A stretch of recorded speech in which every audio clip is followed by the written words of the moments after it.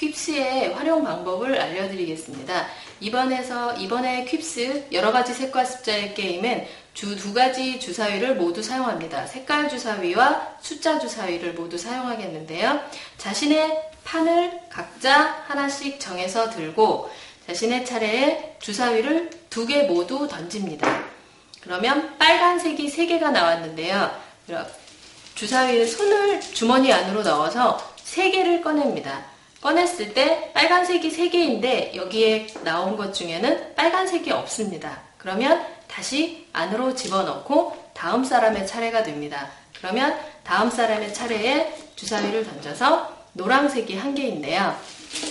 한 개를 꺼내서 노란색이 한 개가 나오면 자신의 맞는 위치에 끼워 넣습니다.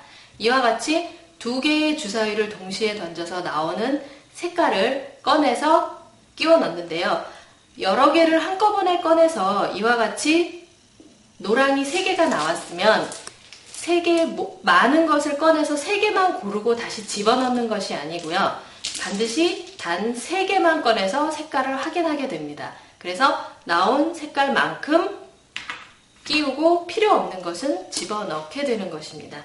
이렇게 해서 자신의 판을 모두 빈 이렇게 흰색 구멍이 없이 모두 채운 사람이 승리하게 됩니다. 그런데 지난번 쉬운 게임에서는 숫자 주사위만 이용을 해서 게임을 했었는데요.